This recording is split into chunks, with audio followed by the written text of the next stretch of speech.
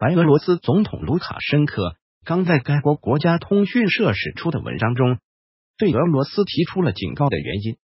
这篇文章谈谈美国与白俄罗斯关系在长期试探后出现了重大进展。一月十一日，美国外交政策杂志报道说。白俄罗斯已经取消了对该国允许的美国外交官数量的长期限制。二零零八年，美国以人权问题为由对白俄罗斯实施制裁，这让卢卡申科非常恼火，要求美国驻该国大使限期回国。三十五名使馆外交官中的三十人也被卢卡申科下令驱逐。自两千零八年以来，白俄罗斯将在美国大使馆的美国外交官人数。长期限制在五人，后来双方关系回暖，但只是又增加五人而已。如今卢卡申科将这个禁令取消，意味着美国驻白俄罗斯大使馆的人数将恢复到此前的三十五人左右。这也预示驻双方关系至少恢复到了十年前的水平。此举是在特朗普政府与白俄罗斯加强接触几个月之后，双方外交关系的一个突破。而正在此时，白俄罗斯和俄罗斯的关系却陷入了一个困境。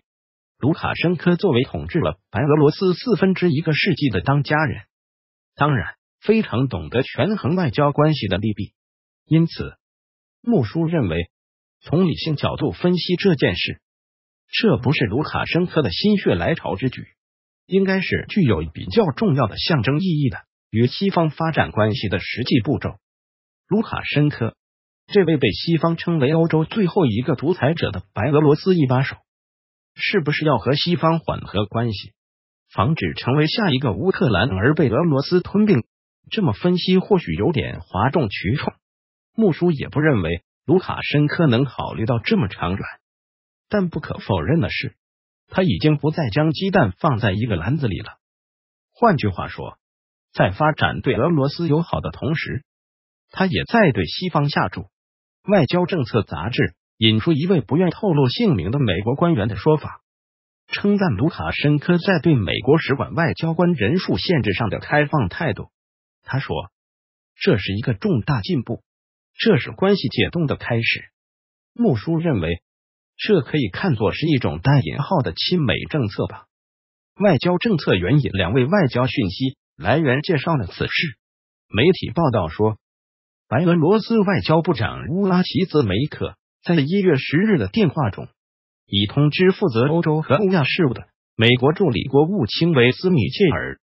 这一决定部分的扭转了华盛顿与明斯克之间外交关系持续的阴郁与衰落。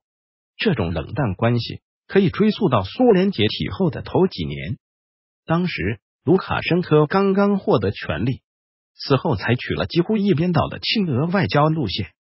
比较讽刺的是，有媒体向美国官方求证此事时，却被拒绝置评。他们称，由于美国政府处于部分关门状态，其新闻业务也处于减少状态。但是，白俄罗斯外交部发言人一月十一日证实，白俄罗斯和美国高阶官员最近讨论了改善双边关系的情况。该国外交部新闻秘书阿纳托尔赫拉兹。对白俄罗斯国家通讯社表示，我们可以确认，白俄罗斯外交部和美国的高阶官员最近进行过多次电话交谈。我们讨论了白俄罗斯与美国关系的各个方面，包括改进的可能性。根据外交规则，这些谈话的细节不便透露。正因为白俄罗斯和俄罗斯关系似乎处于历史上低位，而白俄罗斯和美国关系突然有了进展。才让人们更感兴趣。穆叔也如是，觉得这里面确实可以看出一些国际关系变化的端倪。卢卡申科早些时候警告俄罗斯，如果莫斯科未能提供给白俄罗斯对高油价的补偿，他可能会失去自己这个盟友。白俄罗斯长期从俄罗斯购买补贴价格的石油，但普京计划取消给白俄罗斯的价格补贴，按照上涨的原油价格供货。以减轻俄罗斯的经济压力，这种压力很大一部分是美国和西方制裁造成的。显然，卢卡申科用发展对美国关系来制约普京，就看后者怎么接招了。你如何看待白俄罗斯和美国改善关系？